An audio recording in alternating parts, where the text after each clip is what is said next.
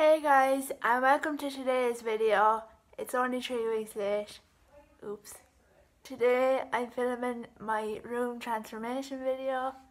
I've actually had it filmed for a while but I just never got a chance to finish it. So I'll most likely upload this after my next reaction video which is going up Friday. So first of all I wanted to explain what inspired the room in the first place and kind of what my vision was. One of the first things that I envisioned for my room was just like a full wall full of Demi Lovato merchandise. So that was the first thing that I wanted. And the second thing was a checkered floor. So I wanted my room to be kind of like American diner themed, if that was possible yeah, so the second thing was the checkered floor and I got that and I'm so happy with it. And the overall vision for the room was retro. So I wanted kind of 70s vibes going through the entire room and I think that's been incorporated in very well. And you will see like little details in the room that really fit the retro theme and other ones that don't really but I wanted a kind of like random and I think we've achieved that too.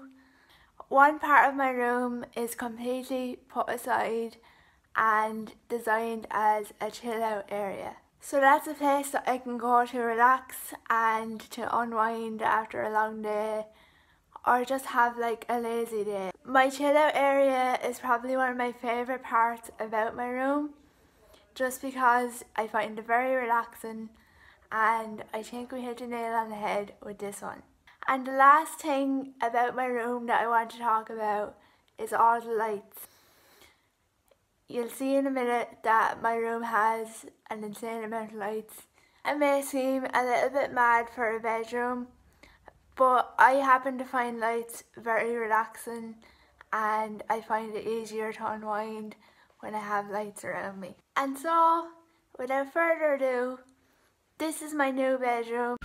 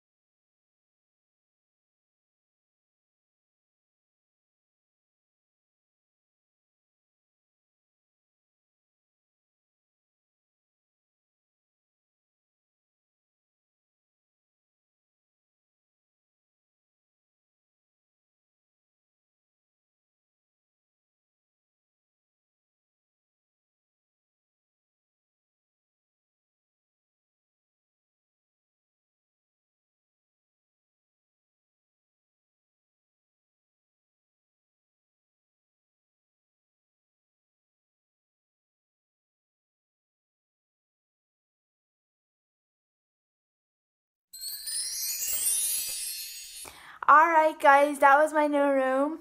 Let me know what you thought about it in the comments. And the name of the 100 subscriber giveaway winner is right here.